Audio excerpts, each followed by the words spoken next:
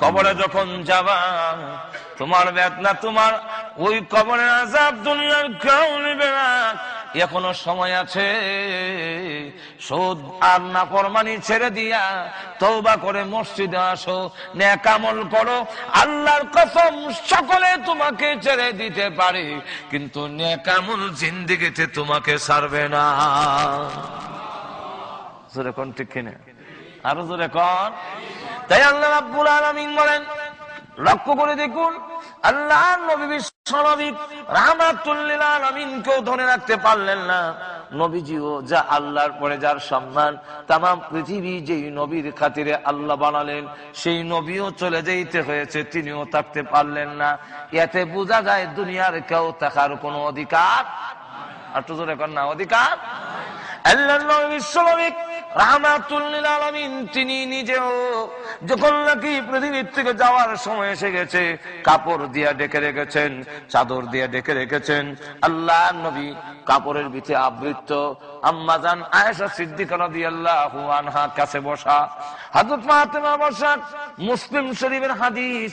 আল্লাহ নবী ডাক বলেন, ও ফাতেমা, আমার মাথায় বুকে দারুণ ব্যথা গো। আমি আমি উড়াইতে পারি না, মাথা উঠাতে পারি না, মাথা দারুণ ব্যথা, বুকে দারুণ ব্যথা। এই ব্যথার কারণটা কি? কারণটা হলো আল্লাহ নবীকে দুনিয়া থেকে বিদায় করার জন্য ইহুদিরা ষড়যন্ত্র করে, খাবারের মধ্যে বিষ মিশাইয়া দিয়েছিল। একজন ছিল তিনি গোষ্ঠের টুকরা চিবাইয়া গিলে ফেললেন। এমনি তিনি বিদায় হয়ে গেলেন, বিষের ক্রিয়ায় তিনি বিদায় হয়ে গেলেন। আল্লাহ নবী ওই গোষ্ঠের টুকরা যখন মুখের ভিতরে দিয়া চিবাইতে আরম্ভ করলেন, কিন্তু নরম হয় না। হঠাৎ করে দেখে গোষ্ঠের ভিতর থেকে আওয়াজ আসতেছে আল্লাহ নবী গো, ভিতরে নিবেন না গো। আমার ভিতরে ওরা বিষ মিশাইয়া দিয়েছে আপনাকে শহীদ করার জন্য। আল্লাহ নবী বিশ্বনবী রাহমাতুল্লিল বলেন ওই যে কিছু জুল কিছু রস আমার ভিতরে গিয়েছিল এটার ক্রিয়া এতদিন বন্ধ ছিল, এখন আমার বুকে দারুণ ব্যথা শুরু হয়েছে। ও সাহাবিনা এই ব্যথাটা সেই ব্যথা, এতদিন পর্যন্ত হয় নাই, এখন হচ্ছে। কেন হইতেছে তারও কারণ উল্লেখ করে দিয়েছেন। আল্লাহ নবী আকাঙ্ক্ষা পেশ করেছেন, রব্বুল আলামিন, আমার আকাঙ্ক্ষা তোমার রাস্তায় শহীদ হইতাম। আল্লাহ এরপরে জীবন দিবে। সুম্মা উহিয়া, সুম্মা উকতাল, সুম্মা উহিয়া, সুম্মা উকতাল। আল্লাহ নবী বলেন, আমার জীবন দিবে, আল্লাহ, আবার আমার মন চায় তোমার রাস্তায় শহীদ হইতাম। আবারও দুনিয়াতে জীবন দাও যদি আবারও শহীদ হইতাম। আল্লাহ রাব্বুল আলামিন বলেন, আমার বন্ধুর আকাঙ্ক্ষা ব্যর্থ হতে পারে না। আমার বন্ধুর বুকে ব্যথা দিয়ে দিলাম। ওই ইহুদির বিষের ক্রিয়া শুরু করে দিলাম। যাতে করে শাহাদাতের মর্যাদা আমার বন্ধুর আমল নমায় লেখা হয়। আল্লাহ নবী বুকের মধ্যে যখন দারুণ ব্যথা হয়, মাথা মুবারক ওঠাতে পারেন না। নিজে একদে বলেন বাতেমা তাকায় দেখে গো, কে জানে বারবার দরজায় সালাম দেয়? অনুমতি দেন, গড়ে ঢুকবো, পারমিশন দেন। কেন গো, সালাম দেয়? লোকটাকে একটু দেখো। ফতেমা রদিয়াল্লাহ দরজার দিকে তাকাইলেন। আজরাইল তো যে দুনিয়ার থেকে বিদায় হওয়ার সময় হয়, সে দেখে অন্যরা দেখে না। আল্লাহ রাব্বুল আলামিন বলেন আজরাইল প্রকাশিত হয়ে যাও। ফাতেমা যদি না দেখে, তখন বলবে, আব্বা, কেউ নাই। আমার নবীর কথা না মিথ্যা হয়ে যাবে। ফাতেমার সামনে তুমি প্রকাশিত হয়ে যাও। এমনি ফাতেমা তাকায় দেখেন, জমিনে আর আকাশে বিরাট বড় এক আকৃতি। এমনি তিনি ডাক দে বলেন আব্বা গো, এমন আকারের মানুষ আমার জীবনে কোনোদিন দেখিনি। অগো আব্বা, মক্কা, মদিনার মানুষের সঙ্গে মিল নাই। এমন বিশাল আকৃতি নিয়ে একটা লোক দরজায় দাঁড়ানো। কষ্ট করে মাথা মুবারক যখন উপর দিকে উঠালেন, এমনি বলেন, ও ফাতেমা হাজা মালাকুল মৌত হাজা হাজিমুল্লাজাত ইয়ানিল মাগো ওমা তিনি হলেন মালাকুল মৌত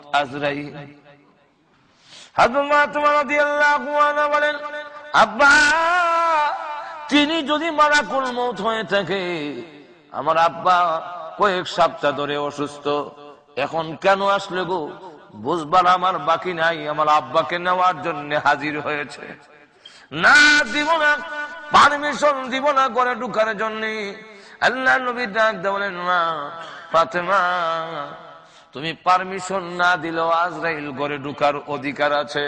ফাতেমা গো, পৃথিবীর কারও সামনে আজরাইল গিয়া পারমিশন নেয় না। আমি বিশ্ব নবীর মর্যাদার কারণে আমার পারমিশন ছাড়া আজরাইল ঘরে ঢুকে না। হ্যাঁ ফাতেমা, পারমিশন যদি না দাও ঘরে ঢুকার অনুমতি আছে। ও ফাতেমা, বলো, আজরাইলকে জানায়া দাও, আমি বিশ্ব নবী তাকে ঢুকার জন্য পারমিশন দিলাম। আজরাইল ঘরের ভিতরে ঢুকলো। ঢুকে বলেন, ইয়া রাসূলুল্লাহ, ইয়া হাবিবাল্লাহ, মহান আল্লাহ রাব্বুল আলামিন আমাকে পাঠিয়েছেন আপনি যদি যেতে চান, তাহলে নিয়ে যাব। থাকতে যদি চান, আল্লাহ আপনার হায়াত বাড়াইয়া দিবে।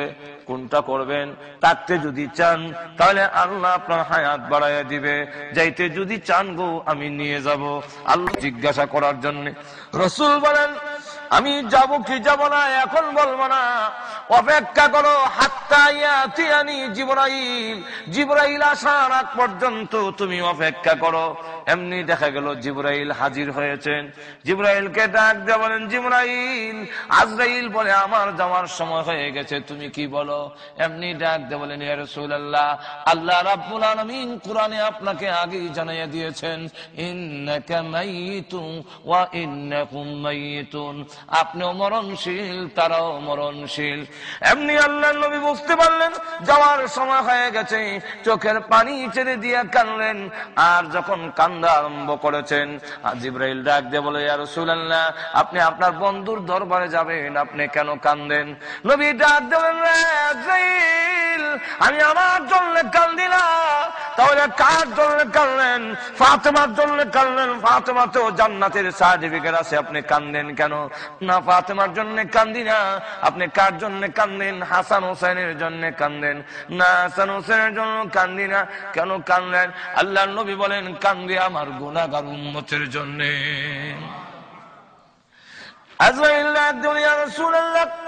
আপনি কেন কানলেন উম্মতের জন্য কেন কান্দেন? আপনি পৃথিবীর থেকে বিদায় হয়ে গেলে আপনার উম্মতের সংবাদ আমি আপনার রৌজাতে পৌঁছাইয়া দিব। আল্লাহ রসুল বলেন, জিব্রাইল, উম্মতের সংবাদ পাবো কি পাবো না? এর জন্য কান্দি না। তাহলে কেন কানলেন আল্লাহ রসুল বলেন, আমি পৃথিবীর থেকে বিদায় হয়ে গেলে আমার গুনাগার উম্মতের জিম্মাদার কে হবে? এই জন্য কান্দি। এমনি আল্লাহ আমার বন্ধুকে বলে, চোখের পানি মুছে বেড়ার জন্য আর কানতে হবে না। তিনি পৃথিবীর থেকে বিদায় হয়ে গেলে আমি স্বয়ং আল্লাহ, এখন থেকে তার উন্মতের জিম্মাদার হয়ে গেলাম। রসুল বলেন, তাহলে পারমিশন দিলাম। আল্লাহ যখন আমার উন্মতের জিম্মাদার হয়েছে আমার রু বের করে লাও। যখন মুসলিম শরীফের হাদিস হয়েছে, আজরাইল যখন রসুলের সিনা মুবারকে হাত রাখলেন, ফি কাবজে রুহি, রসুলের রু মুবারক কবজ করবেন। এমন সময় হজরত ফাতেমা কান দেয়ার কয়, আব্বা পারমিশন দিলাইছেন মনে হয়, আমার অনুমতি দিয়ে ফেলছেন। আপনি একবার একটুকু বললেন না, একটু ভাবলেন না, আপনার ফাতেমা, এই মেয়েটা কার কাছে যাবে? দুঃখ কার কাছে বলবে? আমার মা নাই, আমার ভাই বোন কেউ নাই, আমার গড়ে খাবার না হলে তিন দিন পর্যন্ত চুলায় আগুন ধরে না। হাসান হুসেইন আপনার কাছে গেলে তারা এসে বলে, মা, নানার চেহারার দিকে তাকাইলে আমরা পেটের খিদা দূর হয়ে যায় আমরা পেটের বোক থাকে না। ও আব্বা, আপনি পৃথিবীর থেকে বিদায় হয়ে গেলে এই অভাব অনটনের সংসারে আমি কার কাছে যাব? আপনি কি একটু ভাবলেন না ফাতেমার অবস্থা কি হবে? আল্লাহ রসুল ডাক দিয়া বলে, মা, জুড়ে কান্দিস না। আয়, কাছে আয়। আমি জুড়ে কথা বলতে পারি না। আমার টুডের কাছে তোর কান টান। তখন ফাতেমা রদি আল্লাহ আনহা নবীজির দুই টুডের মাঝখানে যখন কান রাখলেন, কানে কানে কয়, কান্দিস না, আমি পৃথিবীর থেকে বিদায় হওয়ার পরে সর্বপ্রথম কবরের জগতে আমার সাহাবির থেকে, আমার পরিবার থেকে সর্বপ্রথম তোর সঙ্গে আমার দেখা হবে। ফাতেমা রদি আল্লাহ আনা মুসকে হাসতে লাগলেন। তখন আম্মাজান সিদ্দিক রদি আল্লাহ আনা বলেন ফাতেমা, কতক্ষণ আগে কান্না এখন হাসো কেন? ও কানছিলাম আব্বা বিদায় হয়ে গেলে আমার অবস্থা কি হবে? আর এখন হাসতেছি। আমার আব্বা বলতেছেন যে, আমি বিদায় হওয়ার পরে তুমিও বেশি দিন থাকবে না। সর্বপ্রথম আমার ফলের সিরিয়াল তোমার। তাহলে এখন চিন্তা করেন, বিশ্ব নবী রহমাতুল্লিল আলমিন যেখানে থাকতে পারলেন না, আমরা আর তো তাহার প্রশ্নই তাহলে এই কথাটা জানার পরে কাইফা ত্যাগ করুন কীভাবে না কোরবানি করো? আল্লাহ রাব্বুল আলমিন বলে। এরপরে বলেন গেল আমরা জীবন শেষ হয়ে গেল। জীবন শেষ হয়ে গেলে মনে করেন না, আমাদের জিন্দগি শেষ। আল্লাহ তার পরের অবস্থাটা তুলে ধরেন। কই যাইবা? পৃথিবী থেকে বিদায় হয়ে গেলে সকলেই কাপন পড়াবে গোসল দেবে, গরম পানি দিয়া গোসল করাবে। কাপন পড়াইব মাথায় পায়ে বান দিয়া, বুকে বান দিয়া যখন প্যাকেট করা হবে, প্যাকেট করলে পরে এখন দেখা যায় সাদা মার্কিনের কাপড়ের ভিতরে আপনাকে ঢুকানো হইল, কোনো পকেট নাই, শূন্য হাতে শরীরে কোনো কাপড় রাখা হবে না, কমরে যে একটা সুতা আছে সেটাও কেটে রেখে দেওয়া হবে। আরও জোরে এই সময় সকলে রেখে দিয়ে আহারে যখন কবরের দিকে নিয়ে যায়, তখন ডেকে বলে, তোমরা কেলাগো কবরে আমারে নিও না। এই ঘর থেকে আমাকে বিদায় দিও না। কবরের অবস্থা ভালো নাও। কবরও গেলে পরে আমার বড় বিপদ। কিন্তু দুনিয়ার কেউ তার ডাক শুনে না। কাপন পড়াইয়া গোরস্থানে নি কবরে যখন শোয়া দিয়ে চলে আসে, আল্লাহ বিশ্ব আলমিন বলেন, অমনি কবরে তাকে জাগ্রত করা হবে।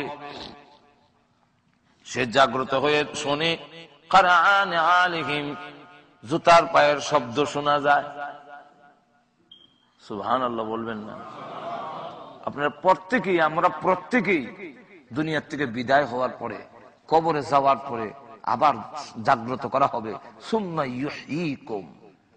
আবার যখন জিন্দা করা হবে জিন্দা করার অবস্থাটা হইল যখন কবরে যাবে আল্লাহ রসুল বলছেন ফায়াতিহি মালাকান ফায়ুজলিসানিহি ياتيه ملكا فيجلسانه فيقولان له من ربك দুইজন ফেরেশতার এসে আপনি আমাকে বসানো হবে বসানোর সাথে সাথে দেখবে সূর্য লাল হয়ে গেছে সূর্য ডুবু ডুবু অবস্থায় যারা দাফন করতে আসছিল, তাদের জুতার শব্দ কবর থেকে শোনা যায়। তখন চিৎকার দিয়ে ডেকে বলে, ও কালু লালু, তোমাদের জুতার আওয়াজ আমি শুনি, কিন্তু তোমরা কি আমার পায়ের আওয়াজ শোনো না? অবশ্যই আমার আওয়াজ শোনো, কিন্তু তোমরা নিষ্ঠুর হয়ে গেছো। আসলে তো কেউ পাওয়ার আওয়াজ? আপনার যখন শুনে কেউ আমরা শুনি না। আর এই কথা কি মনে করেন যে আপনি আমার আওলাদ? ওরা আমার আওয়াজ উনলে ফিরে আর চাইব? যাইব না এটা যদি কেউ শুনে কবর দাফন করার পরে তার বাপে কবর থেকে ডাক দিছে করে কালো? তো আইটা যায়, জুতা ফালায়া উঠটা দৌড় দিব। কেউ যাবে না, জবাব দিবে না। যখন নাকি পৃথিবীর থেকে বিদায় হয়ে গেল, কবর জাগ্রত হইল, এমন সময় তাকায় দেখে, হায় হায়, এখন আমার উপায় কি? কোথায় আমার ঘর? কই আমার বাড়ি? কই আমার ঘর? কই আমার বিছনা? এখন আমার কি হবে? কি উপায় হবে? চিৎকার দিয়ে একটা লোক ডাক দেয় না জব দেয় না। এই অসহায় অবস্থায় যখন চিৎকার দিতে থাকবে, তখন দুইজন ফেরাস্তে এসে বলবে, জবাব দাও। তোমার রব কে ছিল? কে তোমার জীবন দিয়েছিল? কে তোমার লাখ দিয়েছিল? এই আবার এই জিন্দিগিটা কে দিয়েছিল? কোন প্রতিবাহী করেছ? তোমার সকল কিছুর ব্যবস্থাপনা কে করছিল? একটু জবাব দাও। দুই সময় যদি আমার জবান দিয়ে না আসে, যদি সত্যিকার ভাবে আমি দুনিয়ার জীবনটাকে আল্লাহর নাফরমানির থেকে রক্ষা করতাম পারি। অটোমেটিক আমি আরবি না জানলেও কবরে যাওয়ার পরে আমার অটোমেটিক জবান দিয়ে বের হয়ে আসবে, রব্বি আল্লাহ। আমার রব কেরা আরও জোরে কন। এরপরে বলা হবে, যখন জিজ্ঞাসা করবা করা হবে আমার দিন তোমার ধর্ম কি ছিল? তোমার দিন কি ছিল? ওই সময় আমার জবান দিয়ে আসবে কিনা?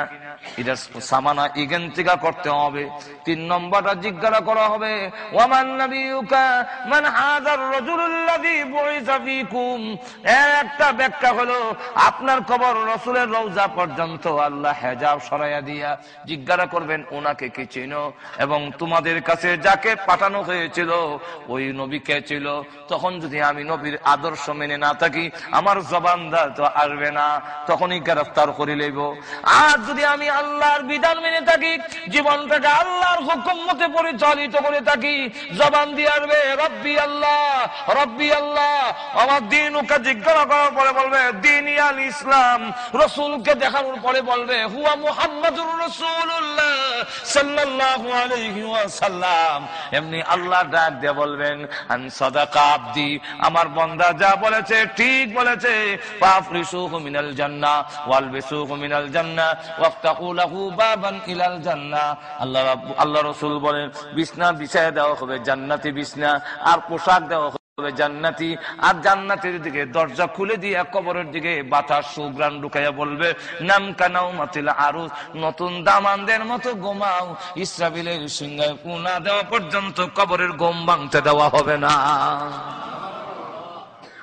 তখন বুঝবেন স্বার্থ বেশি হজরত আমিরুল মুমিনিন হজরত আলী রদি মধ্যে আল্লামা সৈয়দ আব্দুর রহিম, উনি লিখেছেন যে হজরত আলী রদি কবরে ডাক দিলেন, আসসালাম আলাইকুম ইয়া আহলাল কবুর। সালাম দিয়া।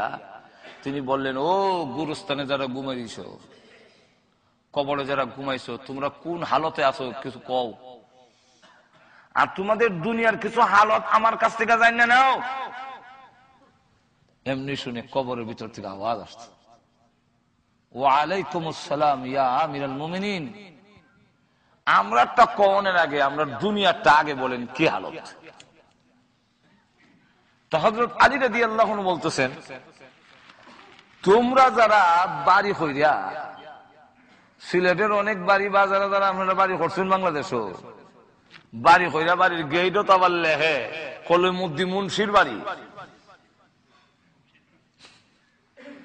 এখন এই যে কলমুদ্দি মুন্সির বাড়ি লেখছিল, তোমার ছেলেরা বন্ডক করার সময় এই গেটটা তো আর রাহন যায় না, কারণ তিন বন্ডক করতো তিন ছেলে।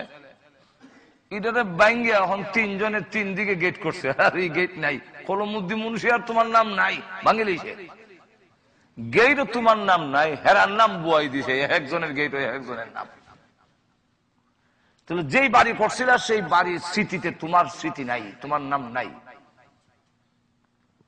যেরকম ঠিক কিনা?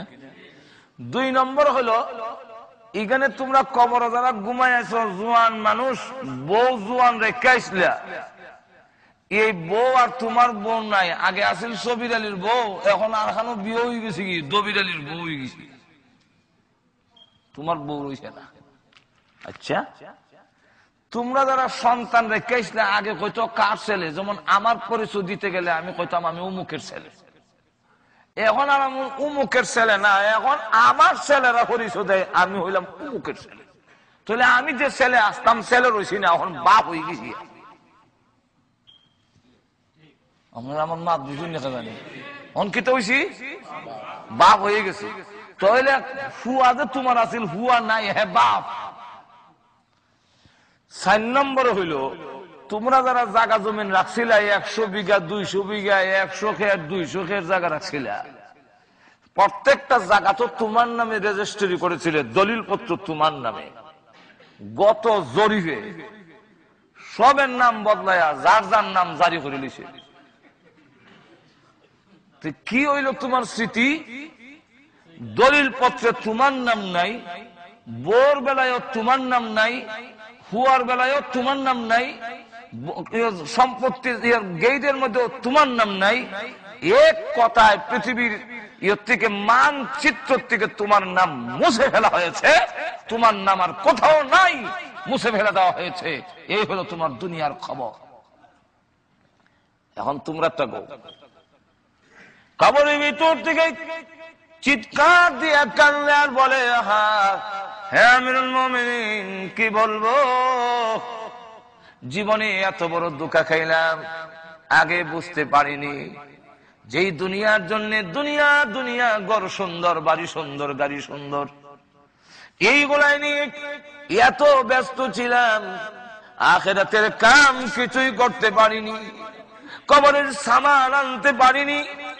যেই দুনিয়ার জন্য আখেরাত আগেই ছেড়ে দিয়েছিলাম, এই দুনিয়া তো এখন নাই, যা শুনলাম। আখেরাতের অবস্থা কি শুনুন? আমাদেরকে যে কাপড় দেওয়া হয়েছিল, কাপড় তো নাই। শরীরের যে গুস্ত ছিল, সব হাড্ডি গুলোর থেকে আলাদা হয়ে গেছে। এখন আর হাড্ডি গুলোর সাথে গোস্ত নাই, শুধু কঙ্কাল আছে। মুখ নাই, মুখের ছিদ্রটা আছে। নাক নাই, নাকের ছিদ্র আছে। সংবাদটা পৌঁছে দিয়ে আমাদের আওলাদের কাছে। নাকের ছিদ্র দিয়া, মুখের ছিদ্র দিয়া পচা দুর্গন্ধ রক্ত বের হয়। হাজারো চিৎকার দেই, কেউ আমাদের ডাকে, আর সারা দেয় না। কেউ জবাব দেয় না। সকল মানব গোষ্ঠী ভুলে গিয়েছে। আমার আউলাদেরা আমাকে ভুলে গিয়েছে, আমার সন্তানরা ভুলে গিয়েছে। কাপড় নাই, কবরের মধ্যে নাকের ছিদ্র দিয়া, মুখের ছিদ্র দিয়া পচা রক্ত বের হয়। এখন চিৎকার দিল, কেউ সাহায্যের জন্য হাত বাড়ায় না। যখন এই সংবাদ আত্মীয় স্বজনের কাছে পৌঁছাইয়া দিয়েছে, ও দুনিয়ার মানুষ, তোমাদের আত্মীয় স্বজনের কবরের হালত হইল, এই হালত শুনে রাখো। আমার এই জন্য আল্লাহ রাব্বুল আলামিন বলেন তোমাদের মরণ দিবেন, আল্লাহ রাব্বুল আলামিন তোমাদের মরণ দিবেন। আবার জীবিত করবেন এটা হলো এক জীবিত। প্রশ্নের পরে যখন শেষ হয়ে যাবে, এরপর একটা হইল, আবার যখন নাকি আল্লাহ হুকুম দিবেন সকলকে উঠানোর জন্য, ইসরাবিলকে বলবে, সিংহায় ফু দাও। ওই সময় শরীরে কোনো কাপড় থাকবে না, জুতা থাকবে না কোন কাপড় থাকবে না, উলঙ্গ অবস্থায় আল্লাহর দরবারে উঠবে। আম্মা জানা এসে সিদ্দিক নদী আল্লাহ আল্লাহর নবীকে প্রশ্ন করেন ইয়ার রাসূলুল্লাহ, কবর থেকে কি সব উলঙ্গ উঠবে? বলে হ্যাঁ। তখন আপনার মেয়ে ফাতেমা, আপনার তারাও কি কামতের মাঠে উলঙ্গ আল্লাহ নবী বলেন হ্যাঁ আমার স্ত্রী আয়েশা, আমার কন্যা ফাতেমা, তারাও কেমতের মাঠে উলঙ্গ হবে। তখন আম্মা জান আয়েশা বলেন, ইয়া রাসূলুল্লাহ, আমি আয়েশা, যেই হই না কেন, আমি তো বিশ্ব নবীর আদরের স্ত্রী। ফাতেমা তো বিশ্ব নবীর কলিজার টুকরা সন্তান। ফাতেমা যদি কেমতের কঠিন ময়দানে উলঙ্গ হয় আপনার স্ত্রী আয়েশা যদি কেমতের মাঠে উলঙ্গ হয়, আপনার কি লজ্জা হবে না? আপনার কি সরম হবে না? আল্লাহর নবী তখন ডাক দেয়া বলেন, আয়েশা, তুমি মনে করছ দুনিয়ার মতোই, এই কারণে তোমার সন্দেহ জাগছে। ও আয়েশা কামতের কঠিন ময়দান দুনিয়ার মতো নয় কামতের মাঠ এমন একটি মাঠ হবে, এমন ভয়াবহ অবস্থা হবে, একজন আরেকজনকে দেখবে, দূরের কথা, নিজের পরিধানে যে কাপড় নাই, একটা লোকেরও খবর থাকবে না। সকল মানুষ নাফসি নাফসি উপর দিকে তাকায় থাকবে, আরেকজনের কাপড় দেখবে, দূরের কথা। নিজের পরিধানে কাপড় নাই, একটা লোকের খবর নাই। এই অবস্থায় সকলে মহান আল্লাহর দরবারে উঠবে। আল্লাহ রাব্বুল আলমিন বলেন, উঠবা যে কবর থেকে আবার চিন্তা করুন আবার যে আমরা চিন্তা করব এটার প্রতি তো আমরা ইমান আছে। যেরকম আসেনি না নাই? এই জন্য ইমানের মুফাসলের মধ্যে আসে না নি? বাসি বাদাল মাউত। ওয়াল বাসি বাদাল মাউত, এর বাস দেয়া ওয়াল বাসি বাদাল মাউত, মরার পরে পুনরুত্থান কিয়ামতের মাঠে আবার যখন উঠবেন, তখন আল্লাহ রাব্বুল আলামিন বলেন, সুম্মা ইলাইহি তুরজাউন। উঠটা কোনো আর কোনো কাউন্টার নাই, আর কোনো রাস্তা নাই, আর কোনো অন্য পথে নাই যে পথ দিয়ে আমি সুরাই পথে চলে যাব, অন্য কোনো দুকা দেওয়া যাবে, আর কোনো রাস্তা নাই। ইলাইহি তুরজাউন, তোমরা সকলেই আল্লাহর দরবারে ফিরে যেতে হবে। ওই দিন কামতের মাঠে যখন উঠবেন তখন নিচের জমিন তামা। সূর্যরা মাসার কাছে। আল্লাহ রসুল বলেন, চৌকে সুরমা দিতে গেলে সুরমা দানিতে একটা সলা থাকে, যেটা দিয়ে লাগান এটা যুদ্ধুল লম্বা। সূর্য আর মাথার মাঝখানে এতটুকু ভাগ থাকে। আমরা কই আদাত, আদাতের কোন বর্ণনা নাই। এই চৌকে সুরমা দিতে গেলে যে সলা ইটার সমান লম্বা থাকবে। বর্তমান সূর্যটা হলো বিজ্ঞানীদের হিসাব মতে নয় কোটি ত্রিশ লক্ষ মাইল দূরে, আর ওই দিন থাকবে সূর্যটা এত কাছে। দুই নম্বর হলো বর্তমানে বিজ্ঞানীরা বলেন ছয় হাজার বা ছয় হাজার সেলসিয়াস বা সেন্টিগ্রেড হইল সূর্যের পাওয়ার। কিন্তু হাসরের মাঠে আল্লাহ রসুল বলেন, বর্তমানে যা পাওয়ার আছে হাসরের মাঠে, এটার পাওয়ার আরও সত্তর গুণ বাড়াইব। জাহান নামের ত্রিশ হাজার মাথা আছে। ক হাজার? প্রত্যেকটা মাথার মধ্যে একটা করে মুখ আছে। প্রত্যেকটা মুখের মধ্যে বত্রিশ হাজার করে দাঁত আছে। এক একটা দাঁত হলো উহুদ পাহাড়ের সমান। জাহান নামের একটা নাক আছে, ছিদ্র করে রশ্মি লাগানো আছে। এই রশ্মির মধ্যে শক্তিশালী উন্নত জন ফেরস্তা ধরে রাখছে। এরা হইল উন্নত জন হইল শক্তিশালী আর এক একজনের অধীনে হইল সত্তর হাজার করিয়া। ছোট্ট যে ফেরেস্তা তার আয়তন হইল আল্লাহ রসুল বলেন কানে লতির থেকে কাত পর্যন্ত সাতশো বছরের রাস্তা। এত বিশাল ফিরিস্তার বাহিনী, রশিদা দৈরিয়া, জাহান্নাম বর্তমানে আছে কই? সাতবক জমিনের নিচে। যত নদ নদী আছে, তত সব বরি লইব কেমতের সময়। এখন যত জায়গায় নদী আছিল তত জায়গায় রেখা দিয়া হাসরের মাঠে জাহান নামের এক একটা আগুনের জিব্বা বের হবে। আল্লাহ বলবেন ফেরস্তাকে টান দিয়ে আনো জাহান নাম হাসরের মাঠে আনো। ওয়াজি ইদিন জাহান্নাম তো জাহান্নাম যখন আসবে, ওই সময় জাহান্নাম আসার সময়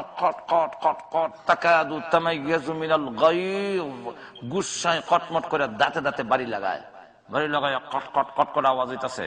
আর যেভাবে আইতাছে, ক্ষুধার্ত, তুমি আমাকে বলছিলে যে মানুষ আমারে খাওন দিবা। আমি এত বছর ধরে উপাস খাওয়ন হয় না। আজকে যে ফাইলিছি জমা মানুষ, ক্ষুধার্ত ভাগের মতো, তখন হটমট করে সামনের দিকে আগুয়ায়। টানের সুডে এত শক্তিশালী ফেরাস্তারাও কন্ট্রোল করতে পারে না জাহান নামের আটকাইতে পারে না, এমনি টান দেয় সময়। তফসিল কিতাবে লেখে, আমাদের দেশের বড় বড় সার, বিশাল দেখা এগুলার যে সময় ব্যাঙ্গাই উঠে মানে তার যে সময় ই উঠে, ফাল উঠে, এই সময় মালিক এমনি টান দিলে মালিক অটোমেটিক সাথে সাথে ধরে কন্ট্রোল করতে পারে না জাহান নামকে কন্ট্রোল করতে পারছে না। এই অবস্থায় যখন নাকি শুরু হয়েছে হঠাৎ করিয়া তফসিরে মারিফুল কোরআনে লেখে যে রশ্মিটা ছুটে গেছে ফেরাস্তার হাত থেকে। ছুটে গেছে করে, আমরা দেশের এরকম লাফায় বড় সার, যদি মালিকের হাত থেকে ছুটি যায়, তখন পিছনে পিছনে মালিকের দৌড়ায় আর কয় কয় সবিরানি দবিরানি, সাবধান, আমার দেখা ছুটি গেছে কি? সাবধান হারাই দিব। এটা করে দৌড়ায় আর চিল্লায় দৌড়ায় আর কয় জাহান নাম ছুটি গেছে কি? জাহান নাম ছুটি গেছে কি? এই অবস্থা দেখা মাঠে। পিছনে যারা আছে এরকম সামনে যাও, আগুন আইতাছে। সামনের লোকেরা কয়, পিছনে যাও। পিছনে সামনে আগুন আইতাছে। পিছন, ডাইনে যারা আছে এরকম বামে যাও, আগুন আইতাছে। বামে যারা আছে এরকম বাম দিক থেকে আইতাছে। ডাইনে যাও। এখন চাপ দেয়, কিন্তু নরবার জায়গা নাই। এই অবস্থায় তখন নবীরা পর্যন্ত কইব উম্মতের দরকার নাই। আল্লাহ আগে আমারে বাঁচাও। যে অবস্থা শুরু হয়েছে, চতুর্দিক দিয়ে গ্রাস করে ফেলছে। জাহান নাম তো খাইলে বহন। আল্লাহ নবী লাগ উম্মত লাগতো না আমারে বাঁচাও। আর সমস্ত অলি গৌস কুতুবরা কইব, আল্লাহ মুরিদ লাগতো না, আমারে বাঁচাও। বন্ডরা কইব, আল্লাহ, আমি কোনো ফিরুই আসলাম না। ফ্যাট ফাল বালিকে একটা বাপ ধরছিলাম। আল্লাহ ওনার উপায় নাই। এখন মা মা কয় আল্লাহ আমার হুয়া নাই হুয়া কয় মা নাই বাপে কয় আমার হুয়া নাই বউ কয় কে জামাই জামাই কয় না, আল্লাহ আমার বাঁচাও। এই পরিস্থিতি যখন সৃষ্টি হবে এমন একটি পরিস্থিতিতে আল্লাহ বলেন হাসরের মাঠে তোমাদের ইলাই হিতুল যাউন তার দরবারে তোমার দাঁড়াতে হবে। এই কথা বিশ্বাস হওয়ার পরে তার নাফরমানি করো কোন যুক্তিতে। মাজুরে কোন ঠিক নেই এখন আল্লাহ রাব্বুল আলমিন বলেন যে ইদার থেকে বাঁচতে চাওনি। এমন পরিস্থিতি থেকে আপনারা সাইন নিয়ে রেহাই পাইতা। আল্লাহ জোরে আল্লাহ রাব্বুল আলমিন একায়তের মধ্যে বলেন, যদি চাও, তো দুনিয়া থাকতেই কিছু পয়সা খরচ করিয়া তোমার খালি গড় সুন্দর করো না, কিছু মসজিদ, কিছু তোমার ছেলে মেয়েগুলোকে দিনের লাইনে, নামাজের লাইনে খাড়া করে দিয়ে যাও। লাইনে যদি তাদেরকে দাঁড় করানো যায়, তোমরা যদি মসজিদের সাথে ফিট করে দিয়ে যেতে পারো, আর সন্তান যদি তোমরা জন্য হয়, রাব্বির হাম হোমা কামা তখন তুমি কবর বিপদে থাকল। এই সোয়াবের ঠেলায় গিয়া দেখা যাবে কবরের আজাব মাফ। হাসুর মাঠে বিপত্তিকা, উদ্ধার পাইবেন, সন্তান যদি ভালো পথে থাকে, অথবা আপনারা যদি মসজিদ, মাদ্রাসা এবং ছেলেদেরকে দিন শিক্ষা দেওয়ার জন্য কোনো ব্যবস্থা করে থাকেন, আল্লাহ রাব্বুল আলামিন বলেন যে, তোমরা আনফিকু, তোমরা খরচ করো, আমার রাস্তায় খরচ করিয়া এমন জিনিস তৈরি করে দিয়ে যাও, যার ফলে মসজিদ, মাদ্রাসা যদি প্রতিষ্ঠিত করে দেওয়া যায়, সন্তানগুলোকে নামাজি বানানো যায়। নামাজ বানানোর জন্য আমি যদি চেষ্টা করি আল্লাহ আকবার। ফরিদুদ্দিন গঞ্জের শেখার। নাম শুনছেন তো আপনারা? ফরিদুদ্দিন গঞ্জে শেখর। উনারে গঞ্জে শেখর কয়খানে গঞ্জ মানে পাত্র আর শেখর মানে চিনি। সুগার যখন আপনারা? উনার নাম চিনির পাত্র। চিনির পাত্র নাম টাইটেল। এই টাইটেল লেখেনে মা ছেলেকে নামাজি বানাবার জন্য ভাবলা আল্লাহর সাথে জোড়া লাগাই দেই। যতক্ষণ পর্যন্ত আমি সন্তানকে আল্লাহর সাথে সম্পর্ক করতে না পারব, দুনিয়ার সমস্ত সরু সামান দিয়েও তার অভাব আমি দূর করতে পারব না। তাই তিনি কইলেন যে, নামাজ পড়ো যদি প্রত্যেক দিন আল্লাহর কাছে চাও, তাহলে দেখব আল্লাহ তোমারে দিব। তো ছেলে, ছোট্ট বাচ্চা তো, হেরে যা বুঝাইবেন ইটুই বুঝে। আম্মা কই ভাইমু বলে, ওই ফাতলা দেখাইয়া কইছে, এই ফাতলার মধ্যে আল্লাহ কলা, রসগোল্লা, মিষ্টি এর মধ্যে দেওয়া যাইবে। ছেলে তাই নাকি? হ্যাঁ। এখন নামাজ আল্লাহ আল্লাহ কলা মিষ্টি আমি মিষ্টি বড় পছন্দ করি। আর মা কই, কলা আর মিষ্টি আর বড়টা এদের ভিতরে তৈরি হ্যাঁ আর দিয়ে যখন ওই কলা রুটি ফেলায় পরে একই হয়ে গেছে যে ঠিকই আল্লাহ দেয়। একদিন, দুই দিন, তিন দিন, এক সপ্তাহ, দুই সপ্তাহ, এক মাস, দুই মাস, তিন মাস মা খাওয়াইলো। আরেকদিন ঘটনাক্রমে মা বাসায় নাই ছেলে আয় পড়ছে মক্তব থেকে। আইও কয়, না থাকলে কোনো অসুবিধা নাই, কলা রুটি তো আমার আল্লাহ দেয়, মার ধরার কি? এমনি নামাজ পড়িয়া আত উঠাইছে। হাইতলার মধ্যে আসেনি কিছু? আজকে তোর কিছু নাই মাথা গেছে কি আর ভাবছিল যে ছেলে ছেলে আইবার আগে আগে দিলেই বউ এখন দেখা যায়, মা দৌড়ে আসতেছে, আর ছেলে এইদিকে এখন হাত তুলে কান্দে। আল্লাহ, আমার মা আজকে ঘরে নাই, একটু কলা রুটি ভালো দিও। অন্য দিন থেকে আজকে একটু বাড়া দিও। কথা হইয়া দোয়া যখন হাত দিছে কলাও নাই নাই, রসগোল্লা নাই। কিন্তু যেই মাত্র হাত দিছে, আল্লাহ ডাক দেয়া ও তাড়াতাড়ি যাও। এতদিন পর্যন্ত তার মা দিয়া নাম দিছে আমার। আর এখন যখন হাত দিয়া কুনতে হয়তো না, সারা বদনাম আমার হইব। তাড়াতাড়ি যাও। তার হাতটা ফাতিলে পৌঁছার আগে আগে জান্নাত থেকে কলা আর রুটি নিয়ে পৌঁছাইয়া দাও। এখন কলা রুটি ভাইয়া দেখে এত সুগ্রানা এত মজা, তখন বুঝছি কতদিন অত বালাটা দিলা না, মা পাইতাছিল দীক্ষা আর আজকে মা নাই, এর বালা কলা রুটি মাশাল্লাহ আলহামদুলিল্লাহ, খাই হইয়া। আর মা তো দই যাইতাছে যে হেতো আজকে হারাই দিব তখন যে মাত্র গেট দিয়ে ঢুকতেছে, এমনি এখন মা, আপনি বাড়িতে না থাকলে বালা, কারণ বালা থাকলে বালা দেয় না। মা হইতে কিতা কিতা মাতো বলে, না। আপনি বাড়ির থাকলে ভালো রুটি দেয় না বাড়ির না থাকলে রুটি খুব বালা দেয়। মিষ্টিও খুব সুস্বাদু মিষ্টি। এত সুগ্রান ওই দেখেন আমার হাতের মধ্যে এখনও সুগ্রান লেগে রয়েছে। মা, তখন বুঝতে পারল, আল্লাহ, যে উদ্দেশ্যে আমার ছেলেরে এগুলা দিয়ে নামাজ পড়াইতাম, উদ্দেশ্য ছিল আমার ছেলেকে তোমার সাথে সম্পর্ক করে দেওয়া। আমি মার দায়িত্ব। এখন আমি বুঝি লইছি আমার ছেলের সাথে তোমার সম্পর্ক হয়ে গেছে। তার জন্য আমার আর চিন্তা করতে হইতো না। এরপর থেকে দেখা গেছে, আর উনি কমন লাগে না। এখন মা কিচ্ছু দেওয়ান লাগে না। ছেলে এখন দোয়া করে প্রত্যেক দিনে আল্লাহর কাছ থেকে আনা শিখালেছি আপনি আমাদের ছেলে মেয়েগুলোকে ওই লাইনে রাখার জন্য আমরা যা আছে, সবকিছু যদি চেষ্টা করিয়া টাকা পয়সা দিয়ে মসজিদের সাথে সম্পর্ক করিয়া দিন শিকানির লাইনে দিয়ে যেতাম পারি, তাহলে এটা আমার আখেরাতের জন্য পুঁজি হবে, আমার ছেলের জন্য যথেষ্ট হবে। আর এমনি দুনিয়ার ধন সম্পদ দিয়া যাইবেন, এটা রাখতে পারবে কি পারবেন এটার কোনো নিশ্চয়তা নাই, বরং আরও নষ্ট হয়ে যেতে পারে। এই জন্য আপনাদের কাছে আপনারা আলহামদুলিল্লাহ। এই আমেরিকাতে আসেন আপনারা, আলহামদুলিল্লাহ। আপনারা আজকে আসছেন, সামনের প্রজন্ম যারা আসবে, এদেরকে যদি ধরে রাখতে হয়, এই ভূমিকা আপনাদের ত্যাগ স্বীকার আপনাদেরই করতে হবে বেশি। ঠিক না আপনাদের ত্যাগ স্বীকারটা বেশি করতে হবে। আপনাদের ত্যাগ তিতিক্ষার কারণে ভবিষ্যৎ প্রজন্ম যতজন নামাজ পড়বে, এই আমেরিকাতে আইসা যত নামাজ পড়বে, যত তারা জিকির আজকার করবে, কোরআন তেলাওয়াত করবে, আলেম হবে, হাফেজ হবে, প্রথমে আপনারা যারা ফাউন্ডার ছিলেন, প্রথমে আপনারা যারা আইসা এই ব্যবস্থা করে দিয়েছেন, আপনাদের আমল নামায় কেমত পর্যন্ত সব যুগ হতে থাকবে। এই জন্য আপনাদের কাছে আমার আবদার থাকবে যে আপনারা এই মসজিদ মাদ্রাসাগুলোকে ধরে রাখার জন্য, আলহামদুলিল্লাহ, এই বিশাল সুন্দর মসজিদ, এই পরিবেশ দেখে আসলে আমরা তো আনন্দিত। আমরা আমরা দূর থেকে এরকম কল্পনা করতাম পারছি না যে আমেরিকার মতো জায়গার মধ্যে আপনারা এত বিশাল মসজিদ করতে পারবেন।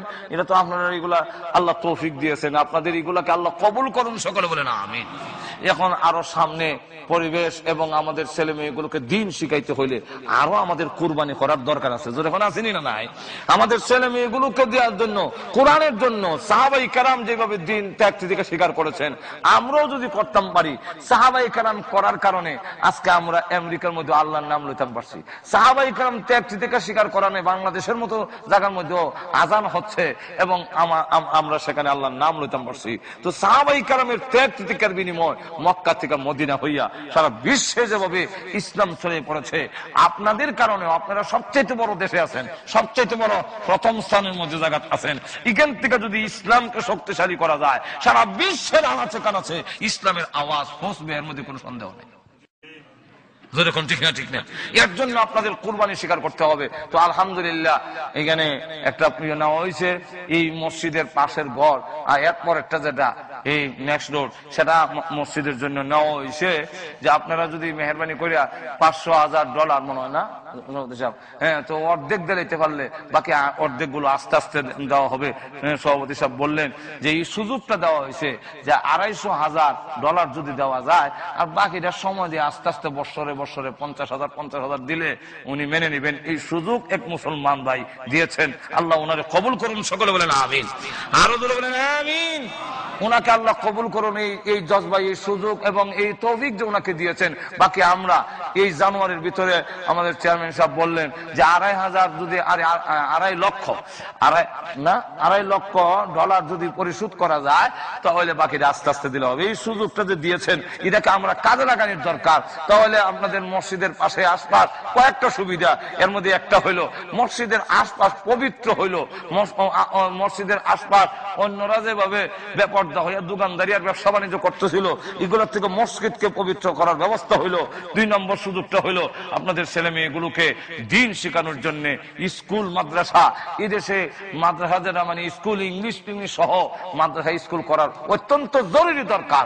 আমাদের বাচ্চাগুলোকে যদি রক্ষা করতে হয়, আমাদের সন্তানগুলো যদি রক্ষা করতে হয়, তাহলে এই দেশের শিক্ষার সাথে ইসলাম মিলাইয়া একটা স্কুল এবং শিক্ষার অত্যন্ত জরুরি, আর না হয় বাচ্চাদের ইমান আমল রক্ষা করা সম্ভব হবে না। আমরা কি দেখুন এই জন্য যে আসতেন, ভারত থেকে আসাদ আল মাদানী রহমতুল্লাহ আল্লাহ আসতেন, ইংল্যান্ডে খুব উনি জোর দিয়ে একটা স্কুল, মাদানী স্কুল এখনও আছে, স্কুল করার পিছনে খুব জোর দিতেন। বলে, স্কুল করো স্কুল করো স্কুল করো। কারণ ইংল্যান্ডের অবস্থা এখন এরকম হইছে যে ফাইভের ভিতরেই তাদেরকে এমন কতগুলো শিক্ষা দেওয়া হচ্ছে যেটা আমরা ইমান আমলে মান্য নিতে না এটা সপ্তাহ ফোন দিত না, আপনার ইশারা বুঝে, আপনারা তো আমার থেকে বেশি জানেন। প্রাইমারি স্কুলের মধ্যে ছেলে মেয়েকে যে শিক্ষা দেওয়া হচ্ছে, সেই শিক্ষাটা তো আমরা ইমান থাকলে আমরা এটা মেনে নিতে সুতরাং তাহলে আমাদের ছেলেগুলোকে এদের স্কুলের সাথে মিলাইয়া দিনের মাধ্যমে স্কুল করার দরকার আছে নি মনে হলো আরও যেরকম দরকার আছে নি এদের এই জন্য আমাদের আলাদা স্কুল করার দরকার। আর না হয় আমাদের বাচ্চাগুলো ভবিষ্যৎ প্রজন্মগুলোকে রক্ষা করা যাবে না। সুতরাং এই জন্য, এই এই জেহাদের জন্য, এই জেহাদের কাদের শরিকের জন্য, এই দিনের কোরবানির জন্য, বলেন তো দেখি, কেউ এমন আসেননি? কোনো ভাই এমন আসেন কতটুক দিতে পারবেন এটা আমি তো অনুমান করতাম, পারি না। তবে একটা সরকারি ডাক, পাঁচ হাজার ডলার দেওয়ার মতো, পাঁচ হাজার ডলার দেওয়ার মতো, সামনে এমন একজন মধ্য মুজাহিদ আছেন কিনা যে আমি দেবো আল্লাহর দিনের জন্য, এই দেশের মুসলমান প্রজন্মকে রক্ষার জন্য আমি পাঁচ হাজার ডলার দেব। যদিও আমি কালেকশন করতাম মানে অভ্যাস আমার নাই, কিন্তু এরপরও আপনাদের এই কাজের সাথে সহযোগী হইয়া যদি হয়তো আমি মেহনত করি, তাহলে আমার এই কাজটা, আমার এই প্রচেষ্টাটা যদি আল্লাহ কবুল করেন, তাহলে আমারও নাজাতের উচিল হয়ে যেতে পারে। আমি তো কমসে কম কথা কইতাম পারব যে আমি দিতাম পারছি না ডলার ডলার আমি দিব গা কিন্তু আমি তো কিছু শ্রম দিছিলাম, আল্লাহ ইরাক উচিলায় হয়তো আমারও নাজাতের ব্যবস্থা করে দিতে পারেন। একজন মধ্য মুজাহিদ এমন আসেন কেন একটু হাত উঠাইয়া বলেন, সাহাবাই কালাম তো সন্তান ধরে দিছে। এক মহিলা ষাট জন বাচ্চা নিয়ে কয় রসুল্লাহ এই চার বাচ্চাকে নিয়ে যান আপনার সাথে। আর চার বাচ্চাকে বলে দিছে, শহীদ হইয়া যাইও ফিরে আইও না। শহীদ হওয়ার পরে মার কাছে সংবাদ আসলো, মা বিশ্বাস করে না, ষাটটা লাশ আমার সামনে পাও। ষাটটা লাশ সামনে রাখার পরে আকাশের দিকে হাত উঠায়, আঙ্গুল উঠায় বলেন আল্লাহ আল্লাহ আল্লাহ তুমি সাক্ষী থাকো, তুমি সাক্ষী থাকো, তুমি সাক্ষী থাকো। আমি চার সন্তানের মা, চারটা সন্তান আমার কত যে আঘাত হয়েছে হারাইয়া, এবং কি প্রয়োজন, এটা তোমার খুব ভালো করে জানা। চারটা বাচ্চা শহীদ করেছি। এই কারণে ওই বিপদের দিন কেমতের মাঠে আমাকে যেন চার শহীদের মা কইয়া ডাক দাও। এর লেগে চারটা বাচ্চা তোমার রাস্তায় দিলে দিলাইলাম। তো এই জন্য হিম্মত করে বলেন দেখি, একজন আমার এক ভাই।